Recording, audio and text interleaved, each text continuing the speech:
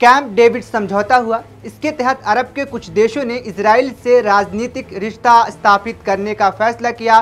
भारत को camp David समझौते से भी इसराइल को लेकर अपनी नीति बदलने में मदद मिली। इसके बाद पश्चिम एशियाई शांति प्रतिक्रिया शुरू हुई और भारत इसमें हिस्सा लेना चाहता था।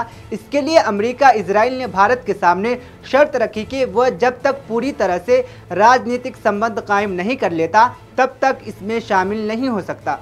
इसराइल के विदेश मंत्रालय के अनुसार भारत के लिए पश्चिम एशिया शांति प्रक्रिया में शामिल होना प्रतिष्ठा का विषय बन गया था। ऐसे में 23 जनवरी उन्नीस को भारत के तत्कालीन विदेश सचिव जे एन दीक्षित ने इसराइल के साथ राजनयिक रिश्ते कायम करने की घोषणा की। जे एन दीक्षित ने इस घोषणा को लेकर कहा था, मुझे इसराइल के साथ पूर्ण राजनयिक रिश्ते कायम करने और दोनों देशों में एक दूसरे के दूतावास खोलने की औपचारिक घोषणा के लिए कहा गया था। मैंने इसकी घोषणा 26 जनवरी को की। इसराइल के साथ राजनयिक रिश्ते कायम करने में तीन कारकों को सबसे अहम माना जाता है। 24 जनवरी उन्नीस को चाइना ने इसराइल से राजनयिक रिश्ता कायम कर लिया था। मॉस्को में तीसरे चरण की मध्य पूर्व शांति वार्ता शुरू हुई थी, जो उन्नीस में 28 जनवरी से 29 जनवरी तक चली। भारत के तत्कालीन प्रधानमंत्री नरसिम्हा राव न्यूयॉर्क में संयुक्त राष्ट्र सुरक्षा परिषद की बैठक में शामिल होने अमेरिका के आधिकारिक दौरे पर उन्नीस सौ इक्यानवे के फरवरी महीने में गए थे। इस दौरे को इसराइल से राजनयिक रिश्ता कायम करने की शुरुआत माना जाता है। जेएनयू में स्कूल ऑफ़ इंटरनेशनल स्टडीज़ के professor P R Kumar Swamy ने 2002 में एक लेख लिखा था, जिसमें उन्होंने कहा था कि उन्नीस के बाद से ही अमेरिका ने इसराइल को भारत से रुख बदलने के लिए दबाव डालना शुरू कर दिया था। ये कोई संयोग या हादसा नहीं था, नरसिम्हा राव के अमेरिकी दौर से ही स्पष्ट हो गया था।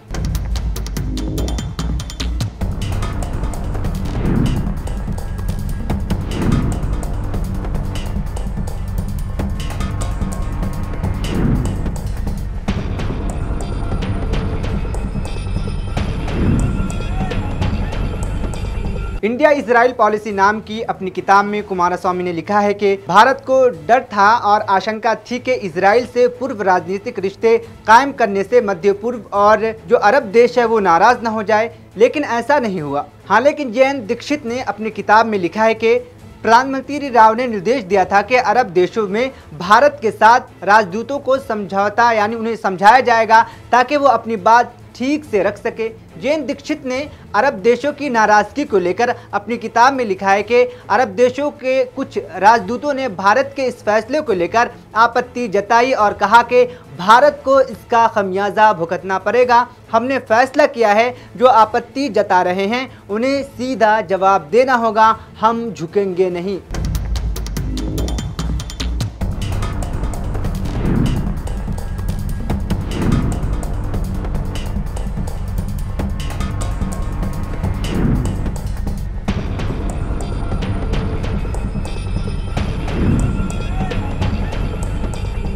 उन्नीस में ऑर्गेनाइजेशन ऑफ़ इस्लामिक कोऑपरेशन यानी ओआईसी का गठन हुआ।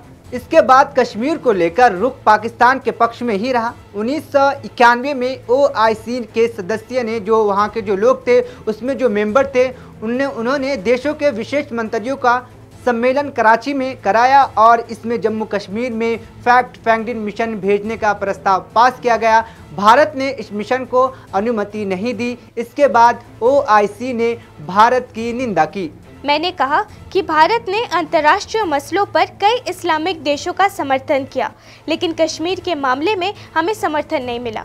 मैंने ये भी कहा कि भारत अपनी संप्रभुता में किसी किस्म की दखलंदाजी के सामने नहीं झुकेगा और अपने हितों के लिए काम करना जारी रखेगा। अरब के मीडिया में भारत की आलोचना हुई, कुछ लोगों ने भारत के इस फैसले पर सवाल उठाए, लेकिन इससे भारत और अरब के संबंध प्रभावित नहीं हुए। आज़ादी के बाद से भारत के संबंध मध्य पूर्व और अरब के मुस्लिम देशों से संबंध काफ़ी गहरे रहे, लेकिन कश्मीर के मामले में इनका रुख पाकिस्तान के साथ ही रहा। उन्नीस सौ उनहत्तर में मोरक्को के रबात में इस्लामिक देशों के शिखर सम्मेलन का आयोजन किया गया और इसमें शामिल होने के लिए भारत को भी बुलाया गया था। लेकिन पाकिस्तान के विरोध के बाद भारत से आमंत्रण वापस ले लिया गया। कई लोग मानते हैं कि भारत ने मध्य पूर्व के इस्लामिक देशों के पाकिस्तान परस्त रुख को देखते हुए इसराइल को गले लगाया। भारत के पास एक तर्क ये भी था कि इसराइल एक लोकतांत्रिक देश है।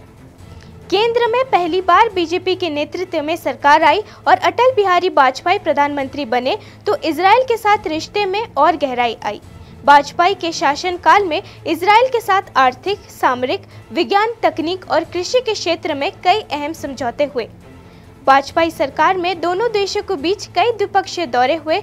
उन्नीस में इसराइल से राजनयिक संबंध कायम होने के बाद भारत की ओर से पहली बार 2000 में तत्कालीन गृह मंत्री अडवाणी और विदेश मंत्री जशवंत सिंह ने इसराइल का दौरा किया।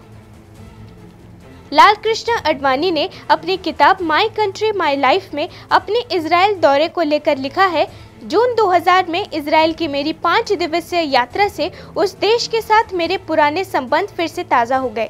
नई परिस्थितियों में मित्रता बढ़ाने और द्विपक्षीय सहयोग को सशक्त करने में बड़े उपयोगी साबित हुए। उन्नीस सौ पंचानवे में भाजपा अध्यक्ष के रूप में मैं इसराइल गया था।